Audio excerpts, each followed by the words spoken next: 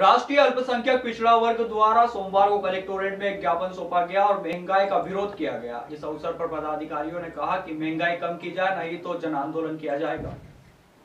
राष्ट्रीय पिछड़ा वर्ग संगठन के पदाधिकारी और कार्यकर्ता सोमवार को कलेक्टर कार्यालय पहुँचे और बढ़ती महँगाई पर अंकुश लगाने की मांग को लेकर तहसीलदार अजय इंगे को राष्ट्रपति के नाम ज्ञापन सौंपा। ज्ञापन में बताया गया कि पहले से ही विश्वव्यापी कोरोना महामारी के चलते श्रमिक और मध्य वर्ग के लोग बेरोजगार हो गए हैं। वहीं पेट्रोल, डीजल और खाने की तेल रसोई के भाव बढ़ जाने से गरीब व मध्य वर्ग परिवार की आर्थिक स्थिति बिगड़ गई है।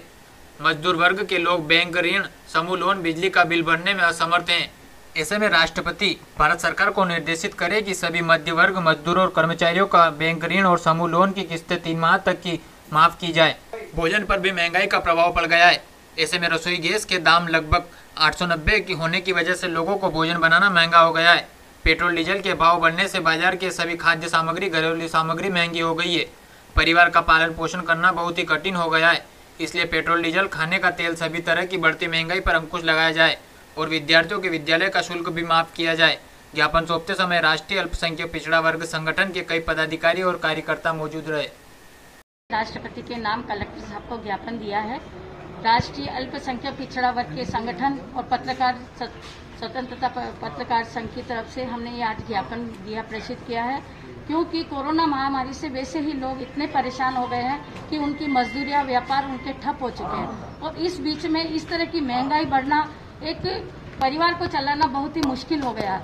आज पेट्रोल के दाम देखो सौ से पार हो गए हैं, डीजल के देखो तो पार हो गए हैं सौ के, और रसोई का गैस 890 करीब हो गया है। मीठा तेल, आज जो लोगों के खाने का तेल है, सरसों का तेल, मीठा तेल, इतना सौ, दो सौ रुपये किलो आज ऊपर सरसों का तेल हो गया तो खाने वाला कैसे क्या करेगा? गृहणियों के लिए घर चलाना मुश्किल हो गया, बच्चों का पालन पोषण करना मुश्किल हो गया। 19 के नियमों को पालन करते हुए महामहिम राष्ट्रपति जी के नाम एक ज्ञापन कलेक्टर साहब को दिया गया है और उसमें यही मांग की गई है, यही बताया गया है कि जो आम आदमी पर जो महँगाई का बोझ है, उसे कम किया जाए जो पेट्रोल और डीजल के दाम अभी बढ़ गए हैं और जो बसों के बसों के टिकटों के भी दाम बढ़े हैं, पेट्रोल, डीजल के बढ़ने की वजह से तो अभी आम आदमी पर इसका काफ़ी बड़ा भारी बोझ है। रसोई गैस के दाम बढ़े हैं, वो भी एक बहुत आम आदमी पर काफ़ी एक दबाव बना हुआ है अभी।